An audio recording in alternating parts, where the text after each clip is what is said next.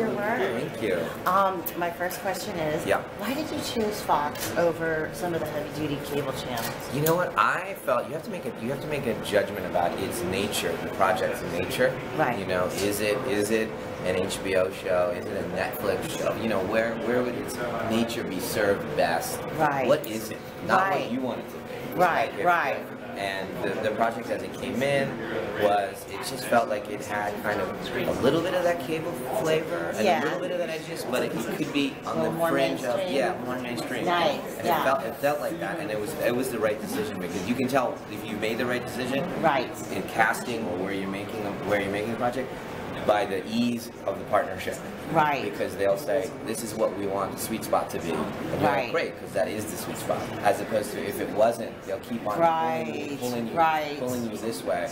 You know, either to speed it up or slow it down or whatever Right. it is. That, you know. Control it. You're a very astute businessman. Oh. that's a very, that's a- a very astute choice. Yeah. Uh, so, so there's not going to be any like nudity or like uh, the graphic, graphic maybe stuff that might have been on cable or. It wasn't the nature of that project. You Yeah. know, the project was centered on a kind of uh, this giant conceit of it and, and what the what the psychological implications of that. Yeah, yeah, And, and, and even even on on a, on a I want to say biblical, but on a larger scale, what are the, what are the moral implications of the things we're talking about? Nice. So the kind of the normal stuff of like, kind of let's say a, a, a kind of day-to-day sexuality Right. would, would be inappropriate considering considering the conceit of the show, Right. considering the big idea of the show. Right. So it just naturally, even if I wanted to do that, which I did have the like the desire to make like a, you know, like an HBO kind of sexy show. That's not what the material wanted. to Right, right. Oh, that's cool. Yeah. Now, this is something I read about you. Both of your parents were physicians. Yes. My father was a doctor. Ah. He passed away in 2005, actually, but thank you.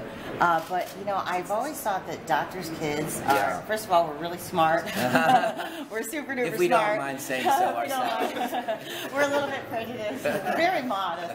But um, do you think that uh, you have a fascination with, you know, uh, the spiritual and also macabre, and Yeah. kind of like dark themes sure. stuff? Do you think any of that came from your medical, like, sort of background, like your parents, like, you know, the intensity of what they do? I mean, it's very possible. There are, I mean, we have all the doctors in our family, all the aunt- uncles and aunts, everyone from coroner to obstetrician. My mom was Wow. an obstetrician, so from, Cool. from birth to death, we got Wow, covered, you do have it all. And as, as your body breaks down, we have a different uncle or aunt to tell you, take care of you until you're dead, and then they'll cut you up and say, what happened to you? Ah. What if somebody wants to be cremated? Then it's like, oh, what a bummer. Yeah, so we have a lot of conversations that were very, very clinical at- Right. at home about, you know, when I was a kid, I could, I could tell you medical terms. Mhm, me Just, too. Yeah, kind of creepy a little It's bit. creepy, Some of it is a little So maybe invasive that as a with 12 the- year old. With the Indian culture, which is a very kind of, kind Spiritual. of super spiritual culture. Right. So this kind of dichotomy of like a science science family coming from a from a spiritual place. You know, Right. so the, the same aunts and uncles are still doing the prayers and the ceremonies and all that stuff. Right, right. Kind of, I guess now that we're speaking about it, it's an unusual influence to have as your normal home environment. Right, right.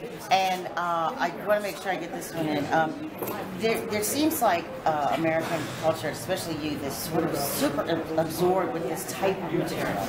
The, the, the actual seeing, the dissection of the bodies, the police work, the mysteries, the crimes, the blood, the vampires, everything. Yes. Why do you think it's in such a dark mode? Do you think that there's any way the spirituality is going to get more into like a, you know, sixth sense, but like happy sixth sense? I don't- You know what I don't think like a more positive I, ghost I've, I've actually thought a lot about what you're talking about. I think what, what you're talking about. It's it, I, when when I make something, for example, from uh, a more emotional or softer place. Yeah. Sometimes the audience, especially a certain uh, section of the audience, especially like a Comic Con audience, finds it invalid. Right. Because their entry point into life and the way they see life is much much darker. Right. So they're like, don't jump jump to this. Right. You can't jump to the to the positive that that way. You have to you have to acknowledge um, their point of view. The, the character and the, the, the language of the the story needs Right. to have an edge Right. to it to say I can I can aspire to get you to somewhere positive. Right, but I can can't- identify uh, with yes, but I gotta, now. Yeah, but I have to be with them. I have to acknowledge now. whatever the the struggle, the cynicism That they're that, in, that yeah. they're in. Otherwise, you're being Yeah, you're, you're and- condescending. Yes, you know? yeah. If someone's Oh. struggling from something, you can't just say, Yeah. "Just get better." Let's joke yeah, around. Yeah, yeah, You have to, exactly. you have to talk about a, com- a, a, a, a darkness that they can Yeah, relate to. relate to. Yeah. Yeah. uh, a, a worry or a struggle. And world then- events are Yeah, super dark right now. And they Super duper have, dark. You know, Yeah. a, a validity uh, Yeah. saying that things are. Awesome. Well, thank you so much.